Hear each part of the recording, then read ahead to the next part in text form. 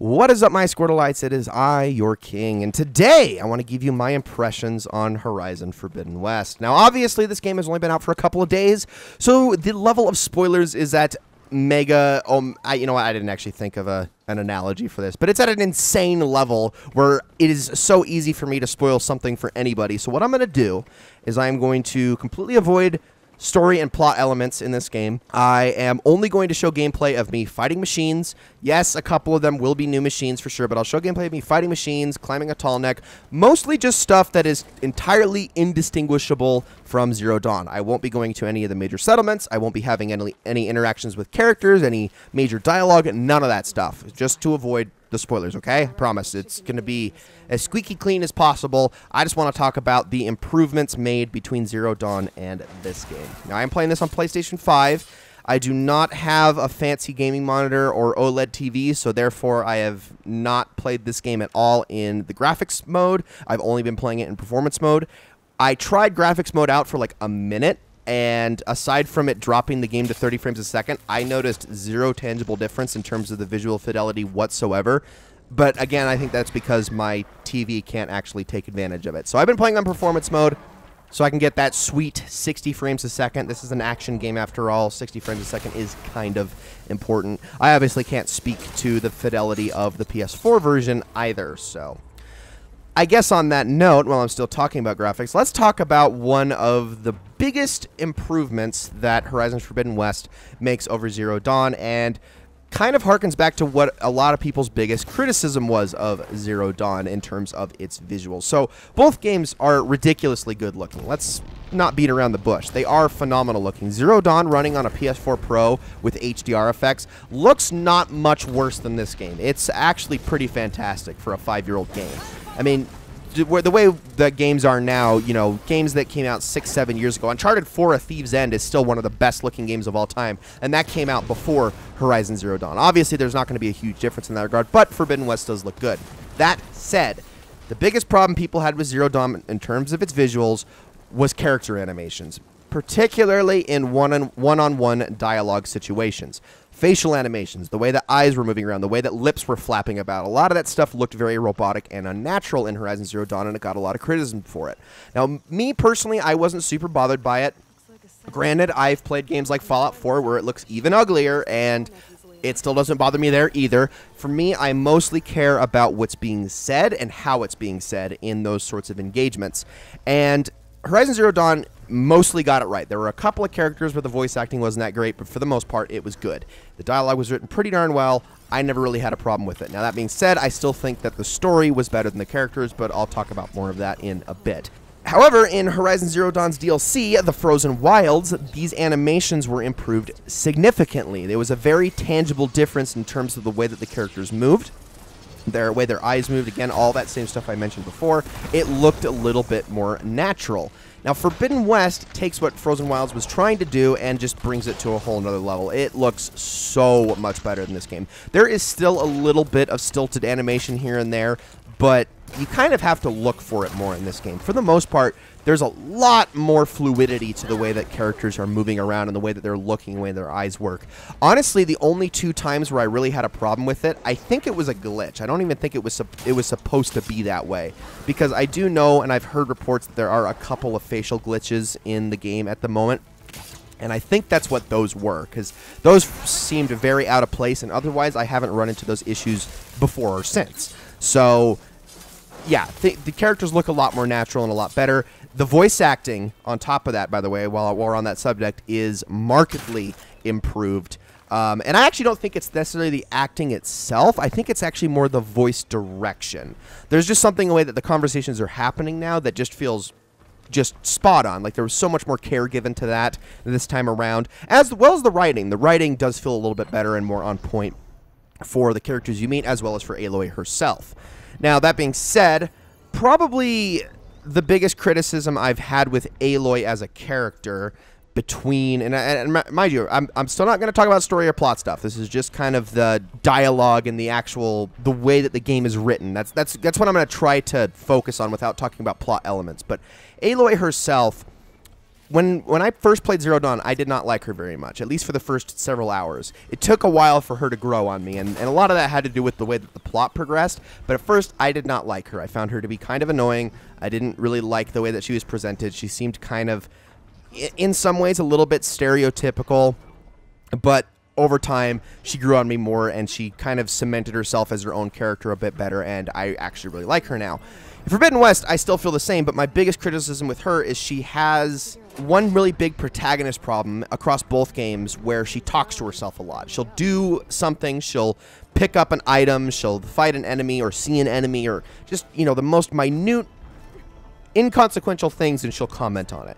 In Zero Dawn, it got a little annoying, but it wasn't like the worst thing ever. She would know she would shut up after a while. She'd comment on something and then she wouldn't mention it again for, you know, another 30, 45 minutes. Forbidden West, it feels like that restraint wasn't isn't there as much. She seems to flap her gums a bit more this time around, which I will say could get a little bit grating for some people. So do keep that in mind. She's still an awesome character, and in the actual dialogue exchanges and the cutscenes, she's still excellent. She does have a bit of a problem with asking too many questions. Again, protagonist syndrome. She's got to she's got to lead every uh, every bit of dialogue with a question so that we can they can frame it better. But aside from that, she's still really really well done, and I feel like she's even further cementing herself into the character that she is and taking charge of her own personality, which I do like. I still think she's great. I do. That being said, let's talk about the other characters in the game real quick, since we're kind of on that subject now. In Zero Dawn, I have to say the only characters by the end of the game that I was interested in was, well, obviously Aloy was one. She eventually grew on me. But the only other two characters that stuck out to me in that game was Sylens, voiced by Lance Reddick, who was pretty much the most important character in the entire main plot, aside from Aloy herself. And then Erend, who was like Aloy's partner in crime, the guy that you would run into the most throughout the game for various reasons. Once you got to like the like a third into the game, he was the most common reoccurring character, period. And those two were great.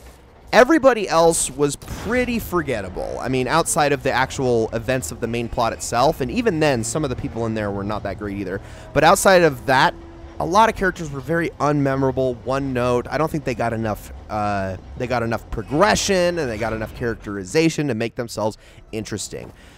Forbidden West does not have that problem at all. Oh my gosh, they have significantly improved that aspect of the game a ton. Like, Zero Dawn, the characters weren't that great. The story was amazing. I can't speak for the story yet now in Forbidden West, but the characters are fantastic. There's a character, in fact, in this game that is a reoccurring character from the first game that I was not very much into because I didn't think that they got a lot of spotlight or a lot of focus or enough to make me care about them. I'm only like I said, I'm 12 hours into the game, which again is not a lot, and I'll explain why in a bit. But they, I every time I see them, I want to see more of them because of how much they've improved the way that they've handled them, how much they've improved the the, the face-to-face dialogue with Aloy, the the interactions with them, and they've made them so much more personable and interesting and likable.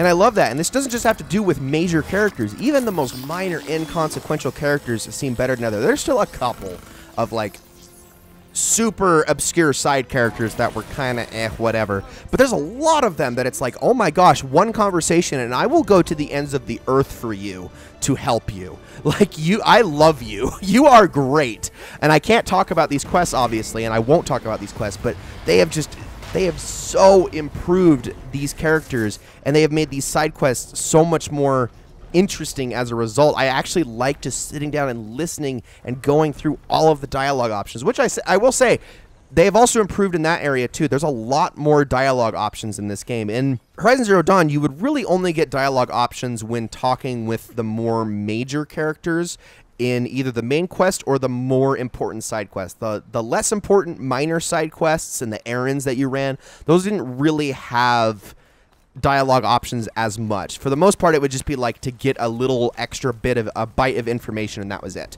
This time around, it feels like every single character has multiple paths of dialogue options that you, uh, as long as there's somebody that is quest important in any in any way at all. And I love that. I really do. I think that they are getting that element of the game down so freaking well. This is probably the biggest wealth of dialogue options I've seen outside of an RPG ever. It's really impressive in that regard. And yeah, I, I think that Guerrilla really got this right. Now, that being said, I wanted to mention real quick why is 12 hours not all that much in the grand scheme of things. Well, Zero Dawn had about a what was it about a two to three hour prologue before you were loosed into the open world. Forbidden West does something similar, obviously not in the same way at all, but it does something similar where you aren't quite able to just break out and go do whatever you want for quite some time. Forbidden West, however, though, it's more like six to seven hours before you hit that point, which some people might go, that's like the length of an entire game. And you're right. Now, that's to say, not to say that that six to seven hours isn't enjoyable. It's not like it's all a tutorial. No, it's not. It's more of a taster. It's and again, like how Zero Dawn did it. It's more of a taster. It's more of like a small open world before you get into the big open world.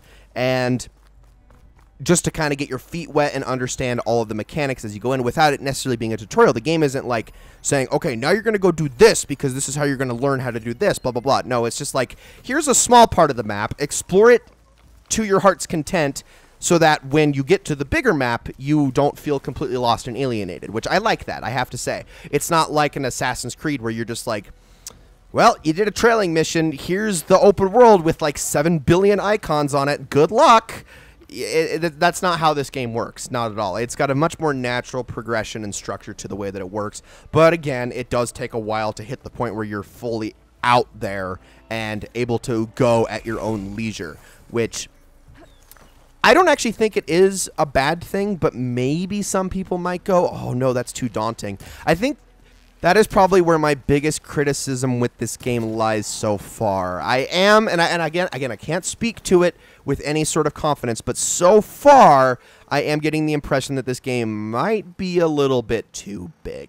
Which to some people you might go, great, but these days with how many open world games there are and how big they be and how big they strive to be, this game may have taken it a little too far. I don't want to. I don't want to speak too soon but I am a little bit worried that this game might be a bit too bloated for its own good. It remains to be seen. Anyway, last thing I want to talk about, in my opinion, the most important subject to talk about with a game like this, especially because it's the whole reason I like Zero Dawn so much, is the combat, the gameplay itself, the way that you actually play it, and how you play it. That is, to me, what makes Zero Dawn such a special game.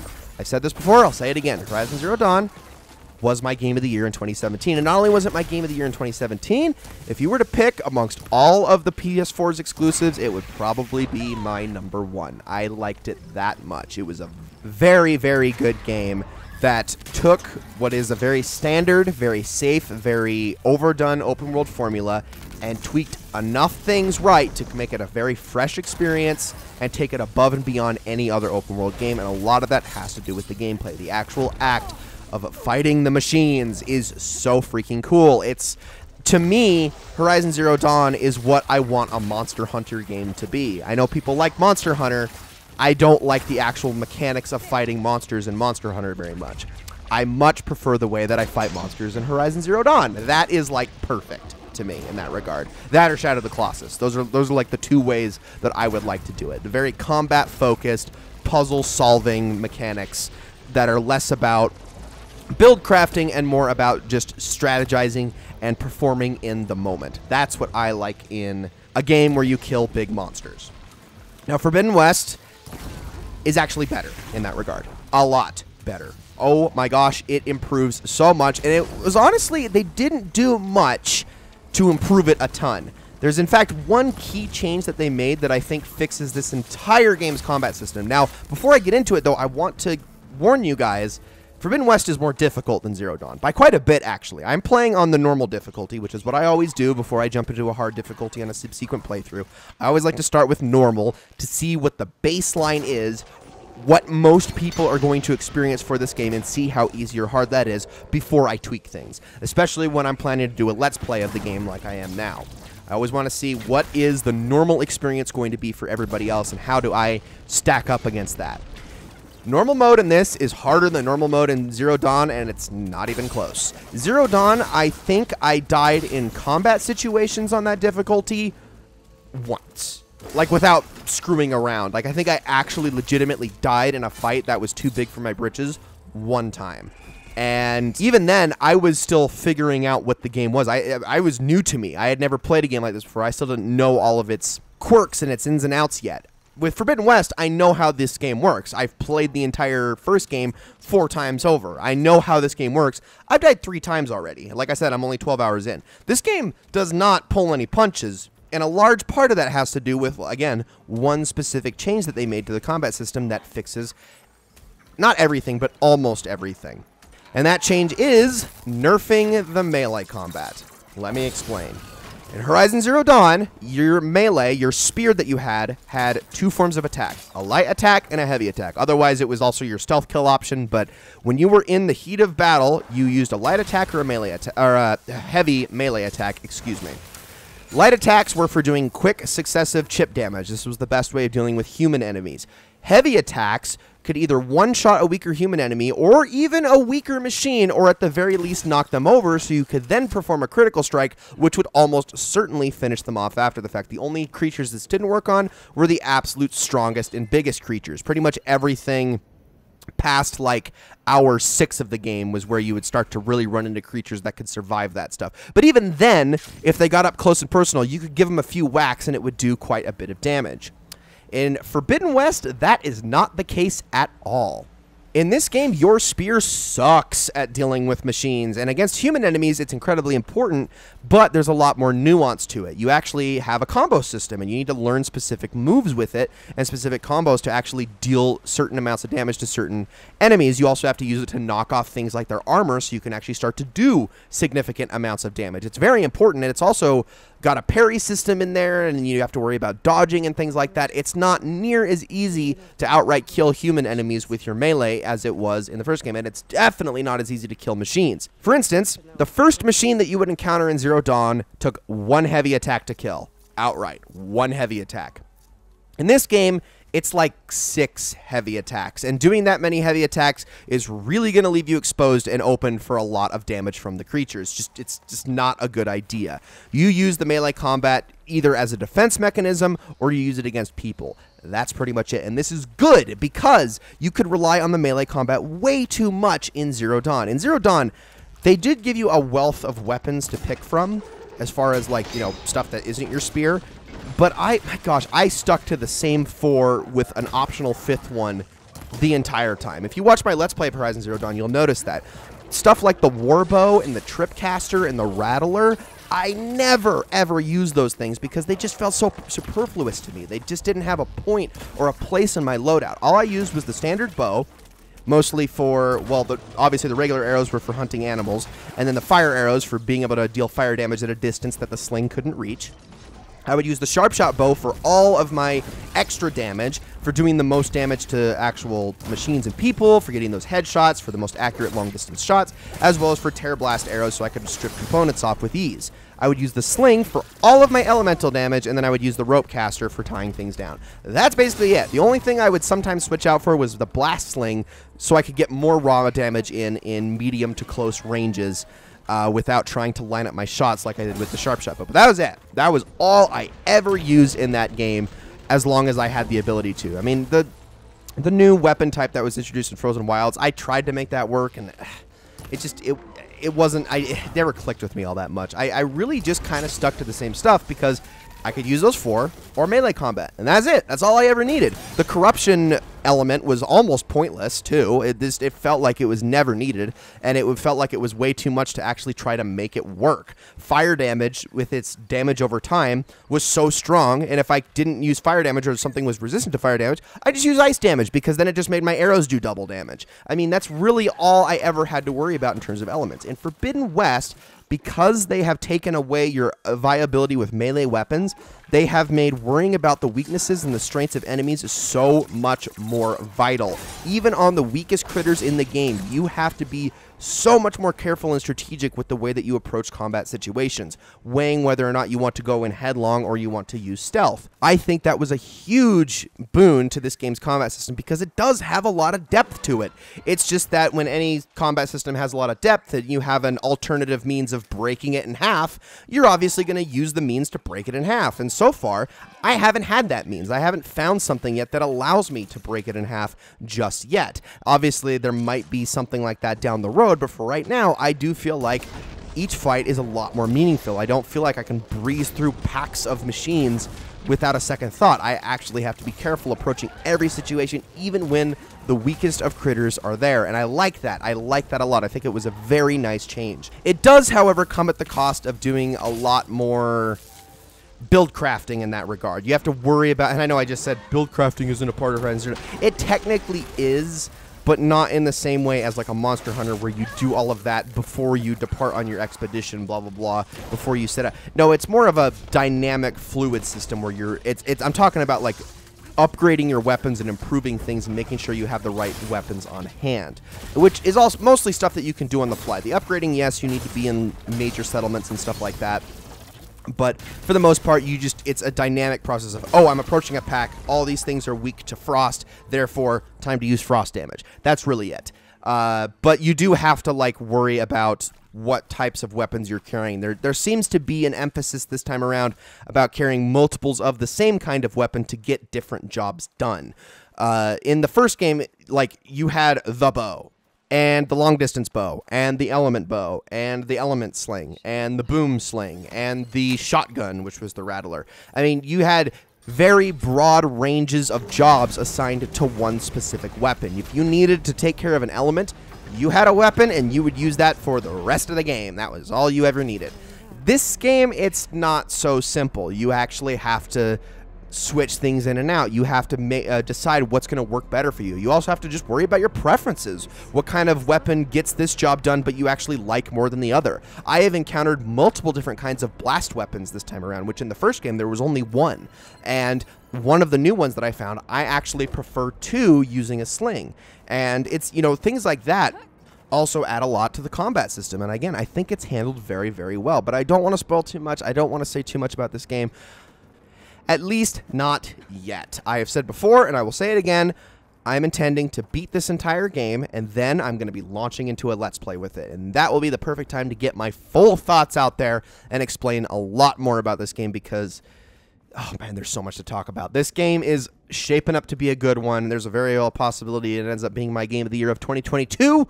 We will see, but of course, I have a lot of game ahead of me. So, guys, thank you all so very much for watching, and I will see you all in the next one.